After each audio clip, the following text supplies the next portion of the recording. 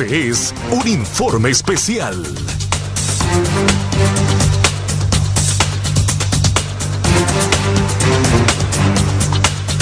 Este es un informe especial.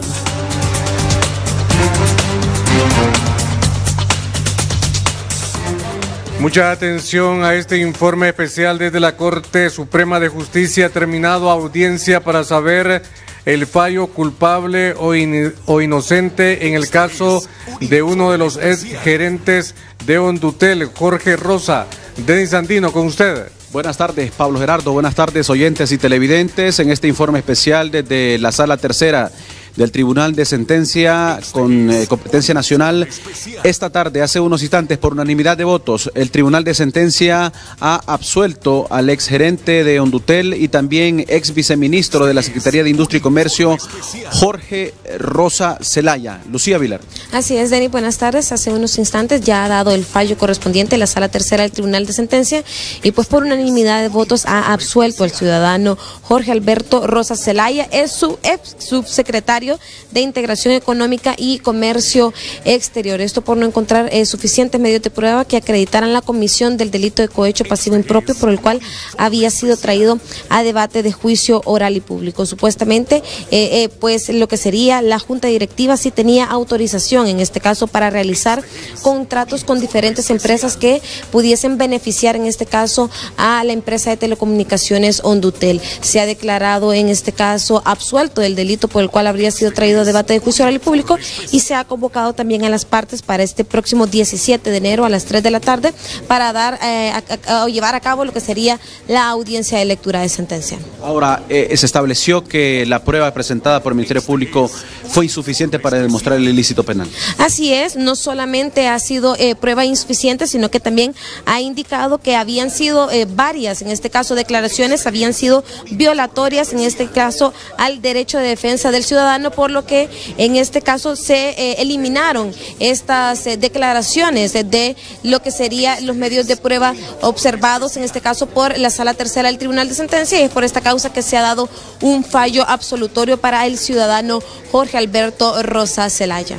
Perfecto, voy a aprovechar aquí con mi compañero Luis Zelaya, compañeros, porque vamos a obtener la declaración de don Jorge eh, Zelaya, eh, don Jorge Rosa, quien es el señalado en este proceso judicial y que el día de hoy ha sido absuelto por el delito de cohecho. Me voy a acercar aquí con mi compañero Luis Zelaya para hablar con el ex gerente de Hondutel y el señor eh, Jorge Rosa, que ha salido absuelto de este proceso. Le escuchamos. ¿Qué en este momento usted? Porque le dijeron que quedan suspendidas todas las medidas cautelares. Yo no podía salir del país y tenía que ir a firmar en el libro, en el tribunal, todas las semanas. El tribunal manifestó que quedó acreditado que usted en ningún momento estuvo en esas sesiones. Es correcto, ni siquiera estuve en las sesiones, ni siquiera era parte yo de esa junta directiva. La prueba del Ministerio Público fue insuficiente, don Jorge Rosa, y ha acreditado su inocencia de todo este proceso que se le ha señalado. Es correcto, así mismísimo como tú lo has dicho. Lo? ¿Cómo lo recibe? Con alegría, mi familia de estar contento, muero por llamarlos y comunicarles que todo salió bien, que nuestra familia sigue siendo una familia honorable y eso gracias a usted ustedes se dará a conocer de la misma manera en que eh, se habló en los en aquellos tiempos de mi acusación. Ahora, la juez habla de una prueba espuria que ordena quede fuera del proceso a razón de que fue obtenida violentando derechos que usted tenía en ese momento. Es correcto, es que hubo una prueba que se fueron ellos a Guatemala a hablar con esta empresa que dijeron que ellos tenían negocios con, con, eh, con pero eh, ni siquiera mencionaron nuestro nombre ahí. O sea, solo están ellos diciendo, sí, nosotros eh, dependemos de la empresa de los Estados Unidos, de Latin pero no mencionan mi nombre. O sea, no es una prueba real. Y cuando pasan esas cosas, uno tiene el derecho de ir y defenderse. Bueno, en algún momento ustedes me dieron dinero a mí por, por algo así, pues no nos dieron ni siquiera el derecho a la defensa en esa prueba. Entonces, desde ese momento, como dice la ley, esa prueba queda descalificada.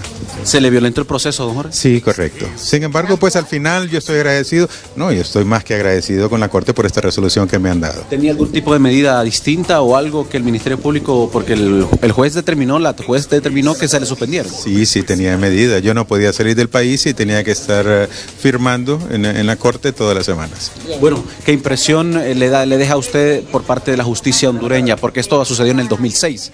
No, pues un un poquito, son 10 años, ¿verdad? Sin embargo, pues al final se hizo justicia y en este momento eso es lo que me importa y es lo que quiero celebrar con mi familia. ¿Qué le quiere decir al pueblo? Buenos amigos que siempre me han apoyado, nunca dejaron de, gracias a mis amigos, eso les quiero decir, que nunca perdieron la fe en mí, que siempre creyeron en mi inocencia y bueno, el resultado ha sido dado hoy por una Corte de Justicia. Muchas gracias, don Jorge. Rosa, muy amable, eh, quien es eh, también del el procesado en esta causa y que ha sido declarado absuelto por esta sala tercera del eh, Tribunal de Sentencia aquí en la Corte Suprema de Justicia. Se había convocado para las 3 de la tarde, sin embargo, la deliberación del tribunal fue por unanimidad y en tal sentido, bueno, resolvieron las, los incidentes que se habían presentado, declarando nula una prueba que había presentado el Ministerio Público, obtenida de manera expuria, aseguró la presidenta de este tribunal. En lo que ha acontecido aquí en la Corte Suprema de Justicia, desde los tribunales de sentencia, junto a mi compañero Luis Zelaya, retorno con ustedes. Buenas tardes.